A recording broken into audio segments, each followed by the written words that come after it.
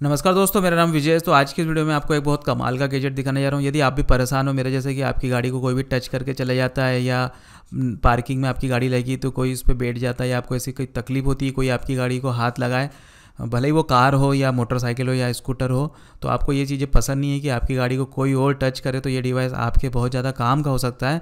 तो ये डिवाइस मैंने इसलिए लगाया क्योंकि मेरी गाड़ी अधिकतर मेरे घर के बाहर या मेरी दुकान के बाहर खड़ी रहती है। कई लोग आके उसमें बैठ जाते हैं, गंदी कर देते हैं। तो मैं नहीं चाहता कि कोई इसको टच करे। तो कोई भी आपकी गाड़ी को टच करेगा तो ये अलार्म बजने लगेगा और आपको एक आइडिया हो जाएगा कि आपकी गाड़ी पर कोई बैठा है। यदि कोई बैठा भी होगा तो वो उठ जाएगा या अलार्म सुनते ही और आपकी गाड़ी को भी कोई ख़राब नहीं करेगा या उस पर कोई बैठेगा नहीं। ये आपको भी पता है प्रॉब्लम कितनी बड़ी होती है।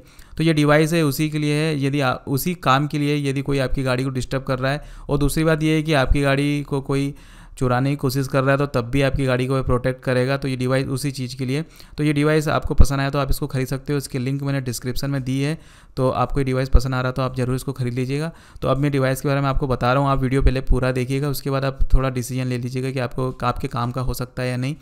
तो इसके साथ में कुछ आपको ऐसा स्क्रू ड्राइवर और ऐसा डबल टेप स्टिक और जिप केबल टाइट आपको मिल जाएगा। इसको जिप टाइट भी बोलते हैं केबल टाइट एक ही बात है। तो इसके साथ में आपको एक पुल करना पड़ेगा। इसमें एक छोटा सा प्लास्टिक का टुकड़ा दिया हुआ पुल करना पड़ेगा। जब इसके सेल एक्टिव हो जाएँगे, लेकिन ये आसानी से पुल नहीं हो रहेगा मेरे को उसको ओपन करना पड़ेगा।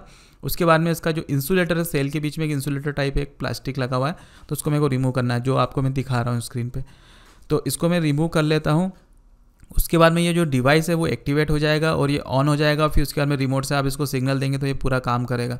कैसे काम करेगा? इसके अंदर आप सेंसिटिव लेवल भी चेंज कर सकते हो और इसमें तीन प्रकार की टोन है। यदि आपकी गाड़ी किसी पार्किंग में लगी, आपको मिल नहीं रही तो आप उसको अल्लाह बजा के आपकी गाड़ी की लोकेशन फाइंड कर सकते हो।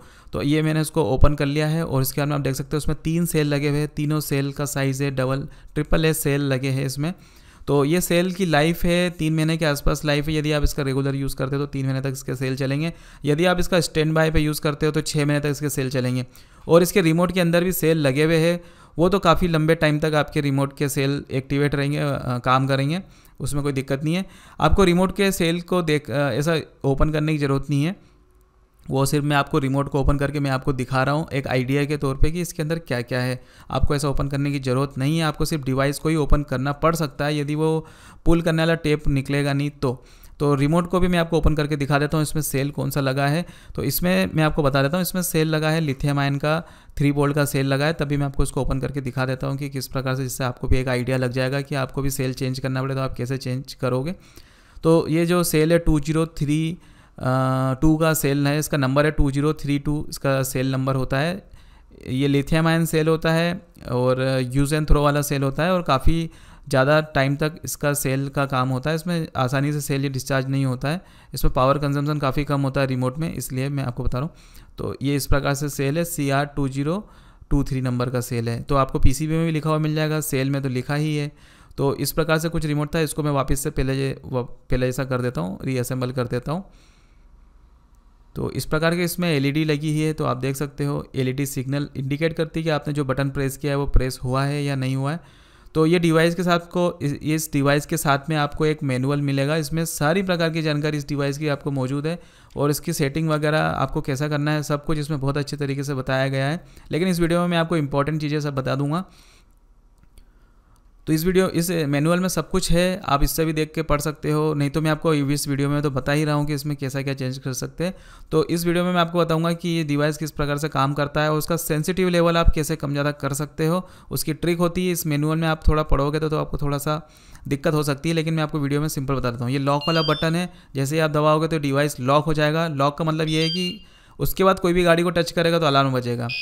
तो ये जो बीच वाला जो बटन है जिसमें चिंगारी ऐसा चिन्ह बना है और उसके नीचे बेल वाला बटन है तो बेल वाले बटन में आपकी गाड़ी को इंडिकेट करेगा कि आपकी गाड़ी कहाँ है, एक बार हॉर्न बजेगा उसके बाद में बंद हो जाएगा। हॉर्न मतलब एक बार अलार्म बजेगा इस डिवाइस का भी बंद हो जाएगा।